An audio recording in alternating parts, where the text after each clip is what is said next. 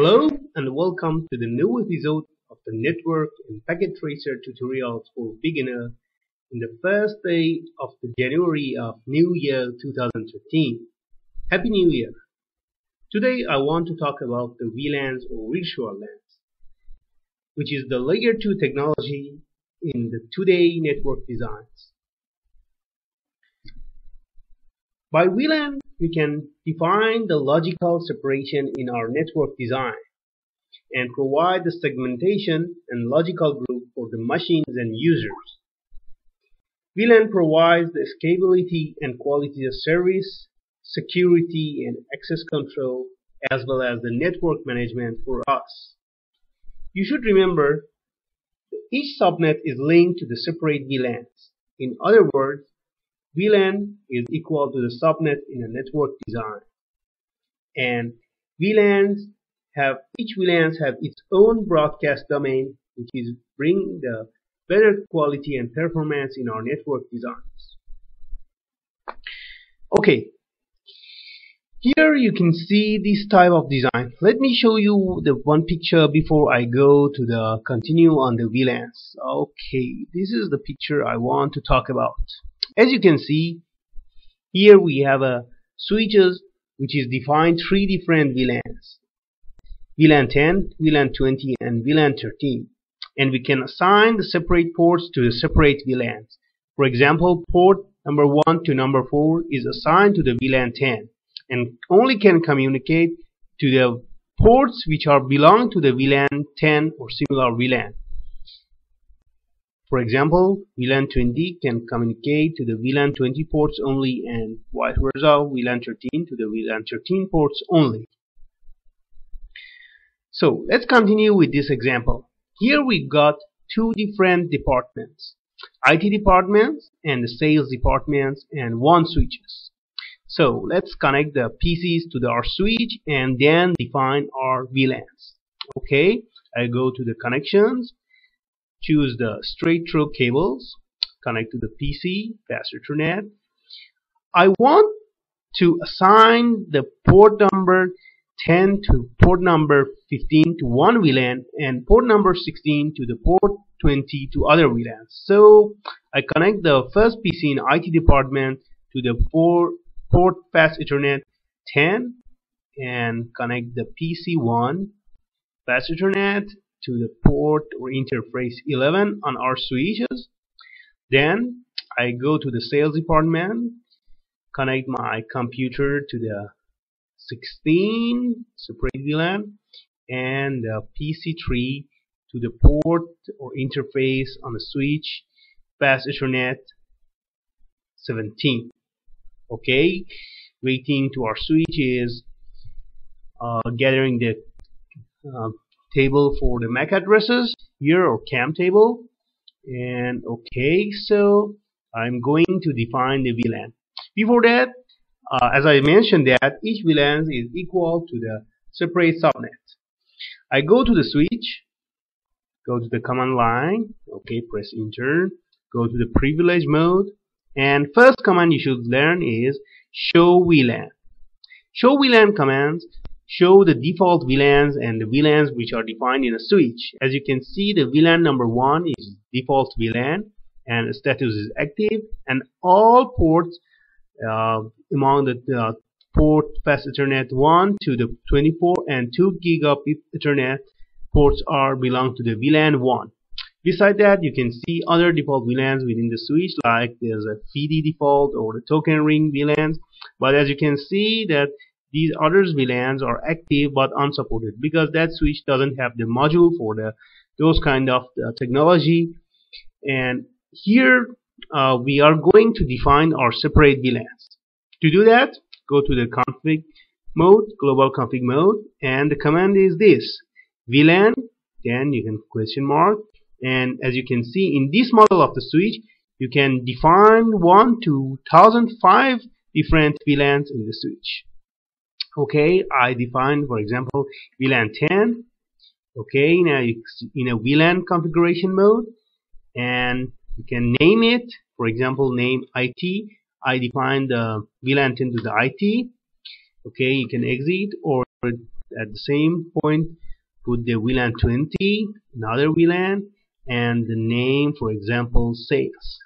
Okay so let's go back and control Z and I use the show VLAN again and here you can see we create two other VLANs VLAN 10 and VLAN 20 for IT and sales but still we don't have any ports assigned to those VLANs to do that I go to the global config mode again and here we use the range command interface range FA0 10 to 15 okay the first command is switch port mode access we set that interface mode should be the access mode and usually we connect the computer and end machines to the access port access ports are defined on the range of these fast ethernets and now we are uh, dictated to the port which are assigned to that VLANs. For example, here switch port access and VLAN 10. We mentioned that this VLAN 10, these ports are belong to the VLAN 10. Okay, exit and for the other ports, interface range again FA 0 16 to 20. Again, switch port mode access we define these ports as access ports and switch port access VLAN 20 so control Z let's go back show VLAN and now you can see these ports are assigned to our VLANs. 10 to 15 to the VLAN 10 and 16 to 20 to VLAN 20 or sales. Back to this. Okay so we're waiting so our links are coming up. I double check these ports FA16 and FA17 in packet tracer if you over your mouse over the device you can see the VLAN's ID and which ports are connected to that. So let's uh, define the IP address and see how our machines can communicate. Click on the PC1 okay. Big 192.168.10.10 and subnet mask is 255.255.255.0 slash 24 and for the other machine do the same thing IP configuration. Okay 192.168.10.11 and the subnet mask is default subnet mask for them. Go to the sales. Each VLAN is equal to the subnet and equal to the broadcast array. So for the sales department which is belong to the separate VLANs, we should choose the separate subnet, which is 192.168.20.10 and the default class C subnet mask or 255.255.255.0 and the PC3 do the same config, go to the desktop tab, reconfiguration 192.168.20.11 okay let me double check I don't make any mistake. Take your mouse over the devices yes 20.10 and 20.11 so let's do the pings test. When I ping from this machine the other machine the broadcast is only goes through this VLAN 20 not other ports or knows about that broadcast. Okay ping 192.168 oops. Ping 192.168.20.11 and we can see the replies are coming. You may ask that uh, this is because of the subnets are separate. Actually uh, these machines are cannot communicate to each other. Yes but let's say for example we connect at another machines like this laptop. Okay.